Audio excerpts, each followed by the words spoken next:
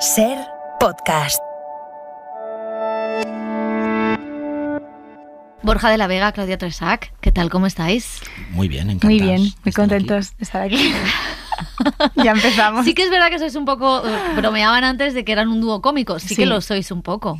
Un poquito. Es que nos conocemos de hace mucho, entonces Claro. claro, ya, y de muchas facetas muy diferentes. Os iba a preguntar desde cuántos, desde cuándo os conocéis. Muchos años, porque yo llevo 10 trabajando en, en Curanda, en la oficina donde trabajo como representante. Claudia debe llevar ahí unos 9 años aproximadamente, Sí, un poco más. que sí. Pero nos conocíamos de antes. Sí. Nos conocíamos de Nos antes. conocimos en Leganés. Nos conocimos en Leganés. en, mi, sí. en mi pueblo, en mi barrio. Sí, esto, además ese encuentro me lo recordó ella años después porque yo no lo tenía en la Sí. cabeza y, y no sé, es que tendrías tú, pues no sé, 16 o 17 años, no sé, Mm, Sí, algo hace así. muchísimo. Hace mucho, hace como 14 o 15 años que nos conocemos. Pero sí. qué bonito que hayáis acabado en esta película, La última noche de Sandra M. Es usted, ¿verdad? La actriz. Sandra Mozarowski. Sí. Estás preciosa. Bien, bien, genial. Estoy harta de que me ofrezcan siempre lo mismo. Ya, es que no se puede ser tan guapa. ¿Qué dices? Es tu maldición, Sandra. El cine en la Ser con Pepa Blanes. ¿Quién es? Es una película, bueno, muy dura, pero muy bonita, muy, eh, muy cuidada, muy respetuosa con y sobre todo me parece que es, eh, bueno, es un homenaje a, a las actrices, a un tipo de actrices, pero yo creo que en realidad a todas las actrices. No sé si te, os lo planteabais, porque la película creo que es de los dos. No sé si os lo planteabais un poco así. Sí. Eh, no de una manera tan fría mm, cuando empiezas a escribir un guion, porque me parece hasta un poco, a lo mejor, hasta pretencioso, ¿no? Yo voy a escribir un homenaje a todas las actrices, ¿no? Que quien me ha dado a mí la potestad para, para ello. Pero cuando lo estás escribiendo y lo que te toca es el intentar contar la, la historia de esta chica y, y de sus mm, anhelos como actriz y de las ganas de crecer como actriz y de en ese mundo que la limitaba por todas partes, sí que te das cuenta, y lo hablábamos con Claudia, de, de que de alguna manera estás hablando de ella y estás hablando de, de todas. ¿no? Total. Sí, sí. Yo creo que sí que es un homenaje a, a Sandra en concreto, creo que es un homenaje precioso, pero luego a, muchas actrices a las que han venido, a, no había muchas historias que resonaban cuando preparábamos el personaje que eran parecidas a la problemática de la película y luego yo creo que es muy actual, o sea que también es un homenaje a las actrices y a la reivindicación de las mujeres y del abuso de poder y de la necesidad de poder reivindicarse una actriz como artista. Sí. Totalmente. Eh, hablabas de Sandra, Sandra Mozarowski, que es una actriz que tuvo un trágico final, murió en circunstancias muy extrañas, como cuenta la película. Eh, ha habido muchas teorías, eh, se ha dicho muchas cosas de ella. Lo que era era una actriz en un, que estaba embarazada y mm, lo que hace es recrear la, bueno, pues los últimos días de, Sandra en ese apartamento, en esa casa, eh, en esa casa de Madrid, donde después aparecería muerta. Mm, ¿Por qué Sandra? ¿O por qué? ¿Qué- en- ¿Cuándo tienes tú la primera conexión con, su historia y qué es lo que, bueno, es, es una butad preguntarte qué es lo que eh, llama la atención, ¿no? No, pues em, de alguna manera yo llego a, al- a Sandra Mozarowski por esa anécdota escabrosa que Hmm. es su muerte y todo lo que rodea su muerte y de alguna manera eh, si tú buscas sobre Sandra Mozarowski es casi lo único que te va a salir en todas partes, o sea, relacionado con su muerte, con que si estaba embarazada, con que de quién estaba embarazada. Y sin embargo, por lo que sea, algo me llevó a empezar a rascar un poco más y fue cuando empecé a leer entrevistas con ella y las pocas declaraciones que hay de ella, donde lo que hablábamos antes, ¿no? No para de, gritar que quiere ser una actriz seria, que, que está haciendo un cine, el cine del destape de la época de la transición, estamos hablando del año 77 cuando muere, o sea, hace cine entre el 73 y el 77 ella eh, dice, bueno, yo estoy haciendo esto como un peaje, pero yo quiero ser otra cosa, quiero ser considerada una actriz seria, quiero formarme, quiero estudiar, que no era tan normal en una actriz de la época además. Y, entonces eso me conmovió mucho, el pensar que ella se había quedado reducida a ese titular, un poco de crónica negra, y que detrás había una persona y, que sus anhelos me resonaron mucho, pues lo que decía Claudia, con, las actrices en general, que yo trabajo con actores. Entonces, desde ahí fue desde donde empecé un poco a imaginar desde ahí. ¿Y entonces por qué este adiós al cine? Pues. Pues porque estoy cansada de que me llamen siempre para lo mismo. de que me ofrezcan guiones donde me tengo que desnudar. Quiero poder convertirme en una gran actriz y no, no ser un objeto.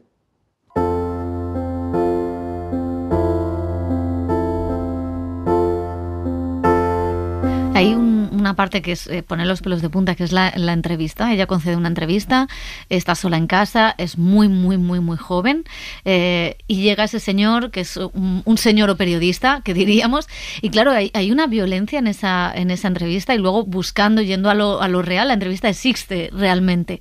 Eh, ¿Cómo planteáis también esa escena? Porque entiendo que luego tú también como, bueno, como representante y tú como actriz también muchas veces hay ese tipo, no igual, pero sí que hay esa bueno, esa obsesión de la prensa también por, eh, por no tratar de una manera justa a todas las actrices. No sé si eso lo habéis vivido también. Sí, yo creo que esa escena yo me la gocé mucho también como Claudia, claro, como que había una cosa como, siempre lo digo, pero es verdad que para mí este proyecto ha sido completamente transformador y ha habido algo de un antes y un después también en mi vida personal. Creo que también ponerme en la piel de alguien que habla con esa valentía, eh, de esa forma, ¿no? Que, que es tan antisistema en ese momento, sí. tan joven, en, una, en un momento como los años 70, eh, fue, muy, fue muy poderoso poder dar voz a Sandra Real, ¿no? a su entrevista y además como a un anhelo propio casi, como una especie como de también de catarsis mía. Sí, para mí era muy importante, de hecho tú lo has buscado y lo has encontrado, que la entrevista fuera una transcripción literal. Hay una entradilla que está cogida de otra entrevista también, que también es real, pero lo demás es literalmente una entrevista. Y no cambiar ni una coma de mm. eso, porque ya era lo bastante, tú lo has dicho, violenta, lo bastante machista, lo bastante... Y la respuesta de, de, ella dentro de la educación donde se mueve en el sentido de que no se planta y tal, pero lo que pero sí Mm. responde desde un lugar de, de, que se mantiene en su lugar de y, y parece inventada. Sí, Entonces, sí. como parece inventada, era importante ponerla y no inventar nada. Para Claro. poder decir, no, no, esto que te parece como un poco que hemos aquí apretado un poco las tuercas, es que no hemos apretado nada, es que esto fue tal cual. Y fue la escena, yo creo que también que fuimos eso más fiel al texto, Total. eh, a la construcción del personaje, a, yo, yo creo que es de nuestras escenas favoritas. Sí, sin duda, sin duda, sí. Sí, luego es muy bonita eh, la escena con. eh, ahora no me va a salir el nombre. ¿Con Georgina? Con Georgina Moros, eh, que, que es claro, es mm, la amistad entre dos mujeres, la amistad entre las actrices, que esto también es una cosa, yo creo que ha existido siempre, pero quizá en los últimos años, con, con este resurgir de actrices de, de tu generación, que sois amigas, que os comentáis, que os eh, alabáis, no, es también como una lección, ¿no? De, bueno, podemos, las mujeres no tenemos por qué competir, las actrices no competimos, ¿no?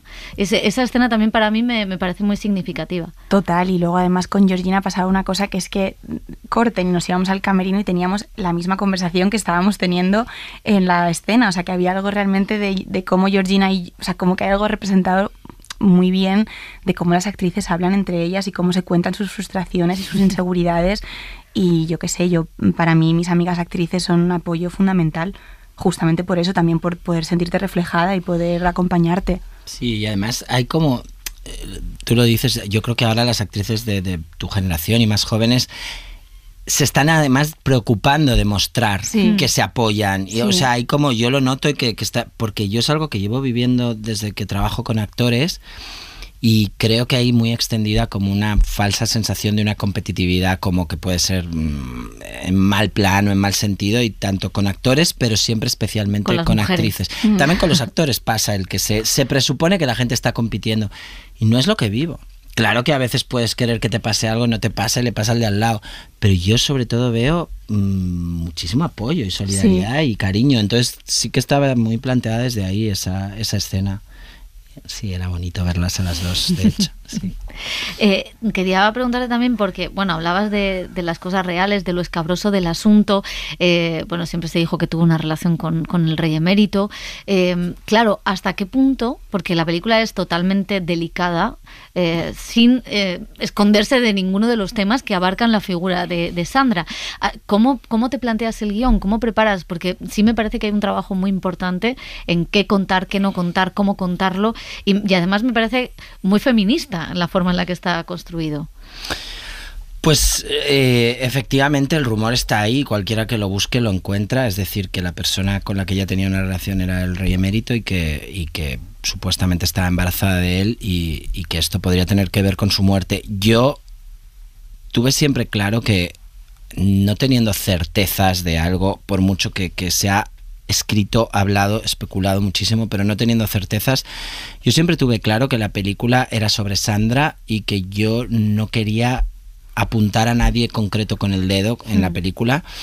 No por nada, sino porque si no tienes una certeza de algo, no creo que tenga potestad para, para hacerlo. De la misma manera que, que el hecho de no enseñar el momento exacto de la muerte, dejando un poco abierto qué pasó al final, ¿no? Es decir, eh, esa noche qué pasó exactamente, eh, cayó mm, por accidente, mm, se tiró, mm, la tiraron, es decir, las posibilidades que hay, dejarlo un poco abierto porque realmente no lo sé. Entonces lo que no sabía, tampoco sé lo que pasó dentro de ese piso. Pero la Pero diferencia sí. de alguna manera era que, que, sobre todo lo que quería era hacer un retrato de ella y de lo que había sido su último día. Entonces todo eso me daba como la columna vertebral para escribir la historia, pero para mí la historia era otra. O sea, la historia era esto que estamos hablando de, de la actriz, de, de las actrices en ese momento, de una chica joven en un mundo muy adulto y en un mundo muy masculino. Y, y ya luego lo de la perspectiva feminista, pues me encanta que lo veas así, porque evidentemente no es como un planteamiento mm, que yo me hago a priori. Yo espero que todo lo que escriba, pues, pues hacerlo, yo ya no diría, por supuesto feminista, pero desde un punto de vista de- de- desde la ética que yo pueda tener. Entonces, yo escribí desde ahí, desde cómo veo a las actrices y de cómo veía ese personaje. Si eso se entiende como que se ha hecho desde un punto de vista feminista, pues me hace muy, muy feliz. Y sí. Pues para eso estamos. claro. Sí, pero bueno, son todo cosas que hablas después, además. Mm. O sea, una vez ya está escrito, cuando te pones a trabajarlo, y en- ahí cuando entra Claudia en el proceso, cuando entra Georgina, cuando entra, pues, pues ahí sí hablas las cosas y las, y las ordenas en tu, en tu cabeza, ¿no? Y la idea de, de cómo fue también meteros en, en esa casa, eh, en la que Claudia va pasando de un sitio a otro, de la cocina a la terraza, al salón, además, como con una coreografía muy bien marcada. Sí. ¿Cómo es o cómo de importante era encontrar la casa? Era eh, también la fotografía, mm, todo muy intimista. O sea, ¿cómo, ¿cómo fue ese planteamiento y cómo lo trabajasteis juntos? Mm, Pues mira, lo de la casa, tú lo has dicho, era. Más es- la casa requería cosas muy específicas, es decir, tenía que ser una casa que pudiéramos mm, con trabajo de arte, pero hacer pasar por el año 77, que no estuviera súper mm, reformada. Tenía que tener un salón enorme, tenía que tener un balcón en el salón, o sea, cosas que es que no era opcional, porque Ya. no. Entonces nos daba un poco de miedo cuando nos pusimos a buscar y, y Más la- difícil que la de Mía y Moy. pues mira, parecido y pasó lo mismo. En ambos casos, y es que es la- como la historia tópica que se cuenta, y en este caso es verdad, en las dos es la primera casa que vimos. Qué fuerte. O sea, había un listado de casas, habíamos hecho mucha criba por internet, habíamos llamado a mucha gente, es decir, se había hecho un trabajo previo, pero cuando ya vamos a visitar, la primera casa que vimos, yo dije, no me puedo creer que este piso lo tenga todo. O sea, lo te- porque además era... No, no, era fue o sea, luego, pues sí, el baño es muy estrecho para rodar, pero quiero decir, quitando cosas muy concretas, el piso lo tenía absolutamente todo. Y era muy importante porque iba a dar mucha personalidad a la, a la, a la historia, ¿no? Y, y lo- Sí. Luego fue muy interesante también a nivel, yo creo que creativo, estar como todos encerrados, como está ella encerrada de alguna forma en un piso durante tres semanas y media, con todo el equipo, con la dificultad que tiene también estar Mm. en ese agosto que hacía un calor eh, alucinante. Y había algo también muy bonito en la energía que había en el piso y, y cómo estábamos todos, cada persona del equipo, como muy entregados a, a la historia y al rodaje. Y yo creo que es de las veces que más he sentido que el, que el equipo técnico era un poco el público de una obra de teatro, un poco. Había algo como de sagrado. Yo nunca, o sea, yo recuerdo que había algo como de mucha preparación con lo técnico, con la fotografía, como has dicho, había mucha, mucha preparación que estuviera perfecto. Y cuando yo ya entraba al set, había algo como de sagrado, ¿verdad? Como un poco mágico. Y entonces se generaba una, una energía con el, con el equipo, con, con las secuencias tan largas, en un solo plano, todos en ese piso que yo pocas veces he visto en un rodaje, la verdad, por, por ¿no? Como por esa magia. Yo es que he visto muchos menos rodajes que tú. claro. Pues, pues ya te digo O sea, yo que veo no, no, no. Yo veo los míos. Y además busca no, casas no. para meter ahí a todos y que no se le descontrole. y hay otra cosa que sí tiene que ver claro, mm, decías, decíais antes, ¿no? Es una peli de los dos. Y es verdad que tú llevas todo el peso de la película y además un peso que pasa del drama a cierto punto más, más cómico, podemos más decir, luz, más luz, eh, que pasa por muchos momentos, ¿no? Está el momento en el que ella está ilusionada porque se va a ir, porque va a empezar una nueva vida, de todos los proyectos que tiene. Luego está la parte casi de terror, eh, porque llaman a la puerta, al teléfono, a todas partes. ¿Cómo es también o cómo, cómo es ese trabajo en el que todas esas emociones casi parece como un trabajo muy teatral en ese aspecto, ¿no? Sí, era, yo creo que es la, la vez que incluso cuando hablo de mí en el rodaje hablo un poco en tercera persona, porque había algo como de que sí que creo que construimos una persona que era Sandra, un personaje que tenía muchas caras y muchas capas y que sí que pasabas un poco como, como una especie de obra de teatro, como que había una especie de fluir por, por, por, su proceso mental. O sea, yo creo que había algo como muy importante de, de, tener un trabajo previo muy grande, de saber qué pasaba en cada secuencia. Lo llevamos muy preparado, Borja y yo, al rodaje y hablamos muchísimo y, y creo que es de los proyectos que el, la preparación ha sido muy, muy, muy importante por eso, por realmente entender cuál era el viaje y luego ya poder volar y, y jugar en, en escena, pero que sí pasara como por estos todos estos colores y que fuera una especie como de río al que, al que te tiras y, y, ella va como pues pasando este momento de ilusión, de autoengaño, de esperanza, al terror, a también a estar escapista mediante el alcohol, a también como bueno, como, como un personaje que tiene yo creo como, como un corazón muy joven y luego una coraza muy fuerte, ¿no? Y como ir manejando y, y navegando a través de ella y eso sí que sí que fue muy como no sé, muy muy bonito ese proceso. Oye, ¿y esto os ha unido más? ¿O os ha separado Hombre. como representante? Ah, no, no, nos ha Hombre, unido nos ha unido mucho. O sea, tú imagínate, claro. yo ya estoy de por vida con Borja. o sea, no real, en plan, tú imagínate, o sea, para mí creo que es el proyecto he tenido proyectos preciosos y muy importantes y no quiero eh, infravalorar a los otros, pero, pero este proyecto para mí ha sido importantísimo y me lo ha dado Borja, me lo ha regalado Borja. Borja me ha, me, yo, me ha, proyectado haciendo este personaje, me ha dado uno de los personajes más bonitos y uno de los ejercicios más bonitos que nunca haré. ¿Quién me va a volver a llamar? ¿no? ¿Qué, ¿Qué, otra película se hace con una actriz en un piso, con monólogos tan largos? O sea, es un, es un regalo y, y también saber que tu representante confía en ti tanto como para hacer una película juntos, no sé, y yo creo que, que, hemos salido muy reforzados este muy, día. Muy es que ha sido muy, muy bonito. Reforzados. O sea, yo también lo creo que. No lo sé si existe el riesgo de decir, de meterte en el berenjenal, de rodar con pues ella con su representante, yo con mi representada y salir todos tarifados. Pero no, fue muy lo contrario, lo acaba de escribir ella, ella muy bien. O sea, es Paquita que... Salas no sé si lo hubiera conseguido. No pero... lo sé, no lo sé. Yo tengo mis momentos que soy un poco Paquita Salas también, ¿no? Todos somos Paquita todos y somos Paquita, en, en, algún momento todos lo somos.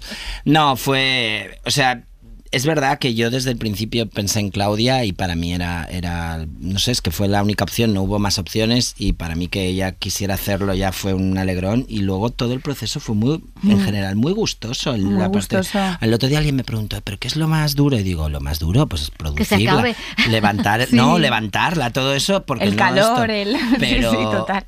pero la parte creativa de ponerlo en pie y de poner el personaje en pie con ella y de todo, todo eso fue muy gustoso. No tuvimos nada de conflicto, de hecho, y claro que nos ha unido, nos conocemos mucho más. Y luego hubo mucha confianza, y eso es verdad. Yo he tenido pocas veces esa confianza en el set, donde yo que sé, por ejemplo, había hay escenas muy largas que algunas las llevábamos muy ensayadas y otra yo le pedía si esto lo llevo muy ensayado, en rodaje voy a estar demasiado mental y necesito encontrar un lugar donde yo no esté controlando el texto tanto, sino que la escena pueda pasar por mí y también hubo un ejercicio ciego por parte de los dos, mm. ¿no? Como de, de, realmente confiar y dar espacio al otro cuando lo teníamos que dar. Qué guay. Sí, y eso no, es difícil, ¿eh? Pues es que es, y encima tienes a Nuria Prims.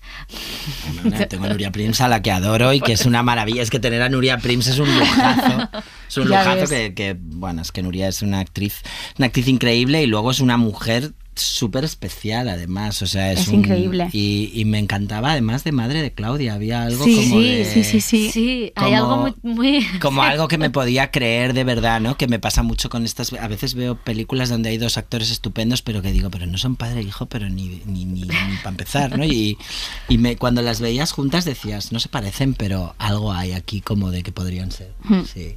No, muy guay tener a Nuria. Todo el reparto, ¿eh? O sea, tengo mucha suerte con, con los actores que hay en la peli, porque vino todo el mundo a hacer cosas muy chiquititas. Georgina, que es un poco más, o sea, es más grande lo de Georgina, pero Georgina, Nicolás, Nuria, Rafa Castejón, Pep. O sea, es que todo el reparto, pues un poco un, un lujazo para mí, para nuestra peli. Sí.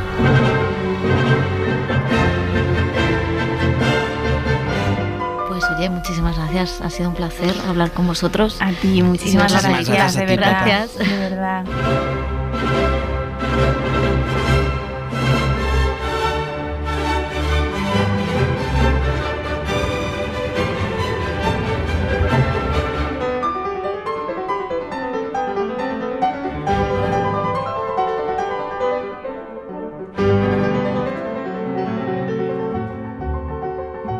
Suscríbete al Cine en la Ser.